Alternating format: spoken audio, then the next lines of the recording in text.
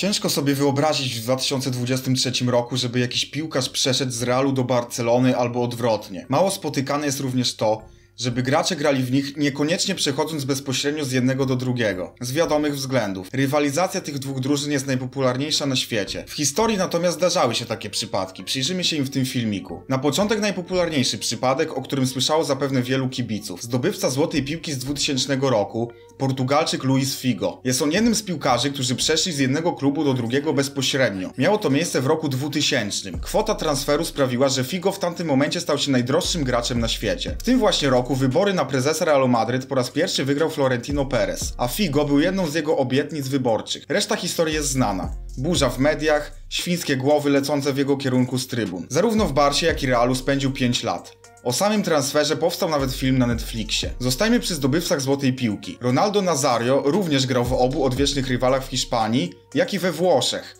bo oprócz gry dla Realu i Barcy, grał też dla Interu i Milanu. W Barcelonie spędził tylko jeden sezon, ale niezwykle udany. Potem przeszedł do Interu na 5 lat, a następnie trafił do Galacticos. Tam mimo nadwagi i problemów z kontuzjami zaliczył świetny okres. W 127 meczach strzelając 83 bramki. Kolejny fantastyczny piłkarz, który grał w obu klubach to Ricardo Zamora. Od jego nazwiska nazwę przyjęła nagroda dla najlepszego bramkarza sezonu w La Liga. Wychowanek Espaniolu swoją karierę piłkarską prowadził jeszcze przed II wojną światową. Grał w Barcelonie w latach 1919-1922, ale największe sukcesy odnosił w Madrycie, gdzie grał w latach 1930 36. Zdobył z królewskimi ich pierwsze mistrzostwo Hiszpanii w historii i swoją fenomenalną grą mocno przyczynił się do wygrania Pucharu Hiszpanii przez Real w 1936 roku, który pokonał w finale FC Barcelonę. Niemiec Bernd Schuster może się pochwalić nietypowym osiągnięciem. Mianowicie zdobywał on trofea z Realem, Barsą i Atletico Madryt. Podobnie jak Figo, przeszedł bezpośrednio z Barcy do Realu. W Barcie grał 8 lat, zdobywając zaledwie jeden tytuł mistrzowski. Na końcu swojego pobytu w Katalonii pokłócił się z ówczesnym prezesem klubu i przyjął ofertę od wiecznego rywala Barsy. W Realu grał 2 lata zdobywając dwa mistrzostwa i ponownie stało się to samo.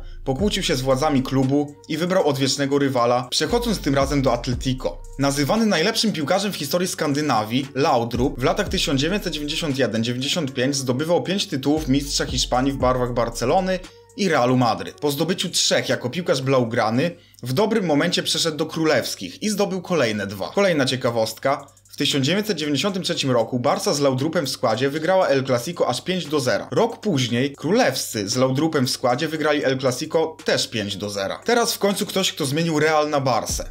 Były selekcjoner reprezentacji Hiszpanii Luis Enrique, pod wodzą którego Barcelona zdobyła swoją ostatnią potrójną koronę, zaczynał karierę w Sportingu Gijón, po czym przeszedł do Realu na 5 lat. Jego kariera naprawdę rozkwitła jednak na Camp Nou. Spędził tam 8 lat i mimo nieciekawej przeszłości został w pewnym momencie kapitanem Blaugrany. To plus to, że świętował sukcesy jako trener w Barcelonie sprawia, że bardziej kojarzy się jako legenda Bars. Zdobywca Ligi Mistrzów z 2009 i 2010 roku Samuel Eto również grał w obu klubach.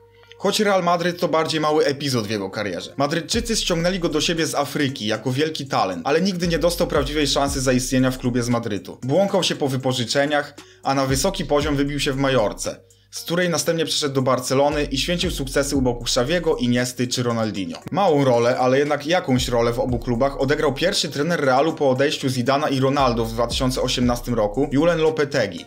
Lopetegui był bramkarzem. Były selekcjoner reprezentacji Hiszpanii spędził w Barsi i Realu po 3 lata, odgrywając tam marginalną rolę drugiego bramkarza. Javier Saviola spędził w stolicy Katalonii aż 6 lat. Pod koniec swojej przygody tam był wypożyczany m.in. do Sewilli. Kiedy skończył mu się kontrakt z Barsą, przeszedł do Realu na dwa sezony i rozegrał w nim 31 meczów. W 1995 roku Real na Barsę zamienił 49-krotny reprezentant Chorwacji Robert Prosinecki. Do Realu przeszedł z Cweny z Wezdy, spędzając tam trzy nieudane sezony okraszone kontuzjami. Po rocznym wypożyczeniu dość niespodziewanie wzięła go Barsa. George Hadji, który w rankingu World Soccer najlepszych piłkarzy XX wieku zajął 25 miejsce i doprowadził Rumunię do jej najlepszego wyniku na Mistrzostwach Świata, spędził w stolicy Hiszpanii i stolicy Katalonii po dwa lata. Jest pierwszym piłkarzem rumuńskim, który wyjechał grać za granicę po upadku komunizmu. Pierwszy sezon w Realu spędził na ławce rezerwowych. Najwięcej grał za trenera Leo Benhakera. Potem po sprowadzeniu do klubu Iwana Zamorano odszedł do Włoch, do Bresci a następnie wrócił do Hiszpanii, do Barcelony gdzie był głównie zmiennikiem dla Guillermo Amora Martineza i Pepa Guardioli. Alfonso Perez to wychowanek Realu, w którym to spędził 5 lat, po czym odszedł i spędził kolejne 5 lat w Realu Betis. Okres ten był najlepszy w jego karierze, a po nim zmienił barwy na FC Barcelonę. Defensywny pomocnik Albert Celades natomiast był wychowankiem Barsy.